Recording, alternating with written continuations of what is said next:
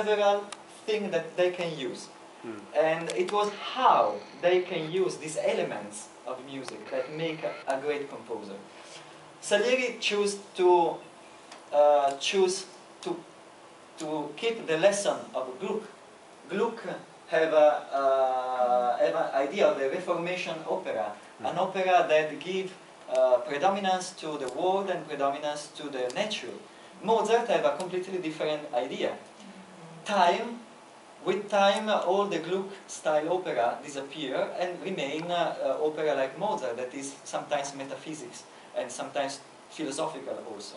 But it was not, it was, uh, even because Salieri had to written for a court, Salieri was paid, so he had to written for uh, knowing who listen his Mm. music Mm. and uh, cannot he, he cannot simply experiment new music.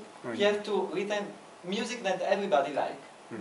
as every composer that it was paid in that moment. Mm.